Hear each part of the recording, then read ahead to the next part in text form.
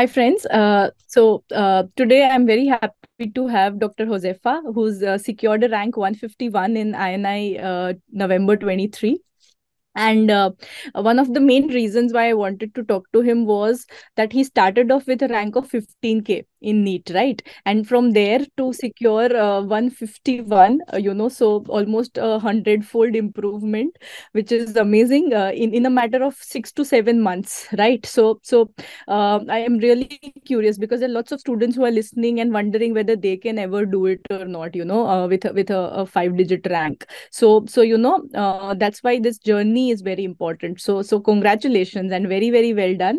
And how are you feeling? What was your journey like? What was your strategy? Please, the stage is all yours now. Uh, so thanks a lot, ma'am. So like just a, brief introduction. So uh, I'm a Dr. Huzaifa Bapai. I did my MBBS from a, a private medical college, Ashwini uh, Medical College, Solapur. And uh, in uh, NEET, I got a rank of 15K. And then in uh, May, I got a rank of 3.7K. Mm-hmm. And in uh, November, I got a rank of uh, 150. So yeah, my uh, my strategy was first were very wrong. Like first, I uh, used to do main notes like, and uh, people used to tell me like uh, they were uh, not revisable, but still I did them. Yeah. So like it was one of the biggest mistake. And second biggest mistake was I didn't uh, give GTs a lot. Like hmm. uh, till uh, NEET, I gave only three GTs. Hmm. So like yeah, that was my two biggest uh, mistakes or blunders, you can say. Mm-hmm. And like after the NEET, I changed my whole strategy. Like I kept my main notes aside and I focus only on uh, consigned notes like BTR and uh, DVT and Marrow revision notes. Okay. So yes, I kept them aside, and every Sunday I used to give a GT, like every Sunday. Okay. Uh, every day I used to solve at least a hundred PYQs. Like mm-hmm. each day, two two to three hours I used to solve. Okay.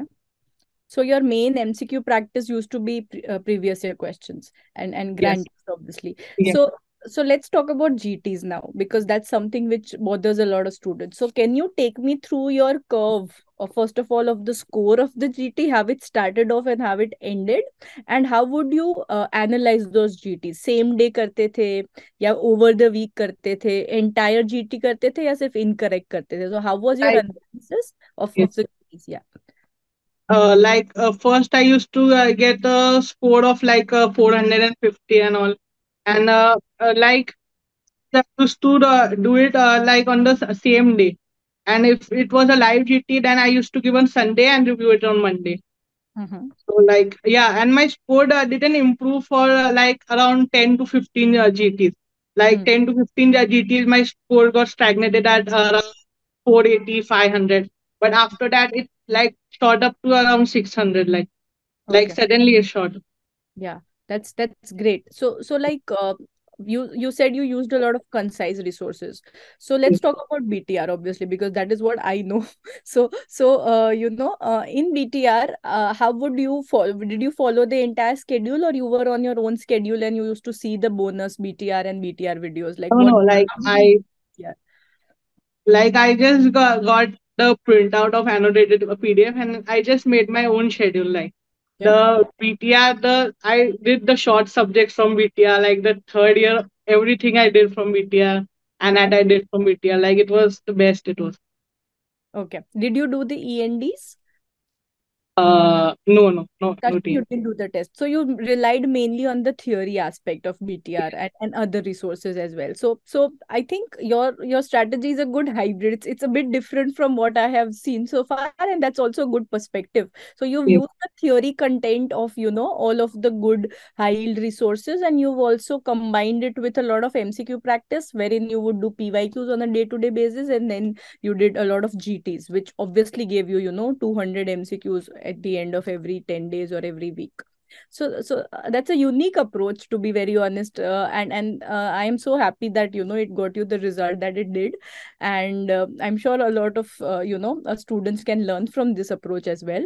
Um, so now let's talk about the exam. So on the exam day what was your thought process like? And then the pattern has just changed. So so how did you approach the test day So like uh, see the like the patterns are changed, but uh, in my, my mind it was like the it is the same for everyone. So let it be 45 minutes, let it be 40 minutes, doesn't matter. Like it's the same for everyone. It's a competitive exam, it's ranking. Like even in INI CET, you don't like, get the marks, you just get the rank.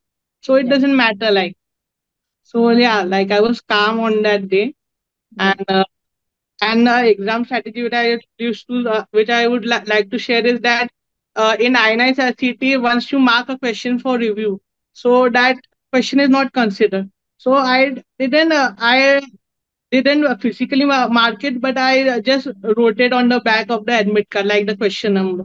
Yeah. So yeah, like that was a tip I could share. Good. That's good. So, you know, you are not scared that in case you run out of time, you know, you will be uh, left with a lot of un unmarked questions. Yes. That's that's a good good advice. Uh, so so thank you so much. Any any last words, any shout outs that you want to give? I'm sure your family is thrilled at at your result and and please convey our regards to them as well. So any Yes. any shout out to your friends, your family, any teachers that you want to make? Like a big shout out to uh, you, ma'am. Like Thank you. and many t- teachers. Like I follow many teachers. So yeah, like and I'm thinking about making my like I made a YouTube channel. So like if anyone uh, wants to like uh, uh, see my whole jour- journey, like the specific resources where, which I use, so you can see. And uh, ma'am, uh, uh, like asked me how I ma- made a schedule. So Hmm. like uh, uh, before the 10, 15 days, I did my weak subjects first. So if even if I run out of time, even if I didn't do the strong subjects, so it will be okay. Like Hmm. so, first according to the uh, GTs, I did my weak subjects first. So yeah, that was Right. That's that's a good tip again because you know people tend to ignore them. We tend to push them away because we don't like them and and you know ultimately just before the exam that is what you are scared of. So it's a good thing to you know eat that frog and finish those weak subjects up yeah. front. Yeah, so that's that's also amazing. So thank you so much, Dr. Huzaifa. It was great. And uh, one more thing, like Yeah, yeah, please go on. I'm so sorry. yeah, yeah, okay, no, no. Uh, like I made like uh, two choti copies of like INI CET and NEET PG, and in the end I made a like fill the whole wall of sticky notes. So the advantage of that that that I could see everything at once. Like uh, before sleeping, I could I just uh, uh, revised it, and uh, while getting out in the morning, I revised it. So if you want, I like I can share a photo. Like Yes, of course, of course. Yeah, so so basically you read your wall for the last one week before the exam. yeah, yeah, In case you had to move outside your house, then your rank wouldn't have come. Amazing. No, I'm sure that is not true, just joking. So so well done. And I think that's an amazing way to concise everything, you know, that gives you the confidence that you have revised everything that you had to just just before the exam. Great, great. Any any last words that you want to say? Uh, no, ma'am. Just three things. Like, do your like people are scared of giving the GTs. Like, revision is never complete. You should remember that. And Yeah. so, give GTs and uh, make concise notes. Like, I uh, I was able to get a, such a good rank because I changed my st- strategy. Like, if like I uh, kept on reading my my main notes, so it wouldn't have happened. So, like, and do PYQs. Like, more importantly, PY, previous year topic. Yes, yes. Yeah. So you, yeah, you worked on your mistakes. That is, I think, the moral of the story that you recognize where you are, it's not working for yourself and you correct that. I think that introspection is very important, which which a lot of students don't do. So so that's great. Uh, thank you so much. And uh, yeah, hopefully you'll get to speak to you soon. Thank you so much. Take care.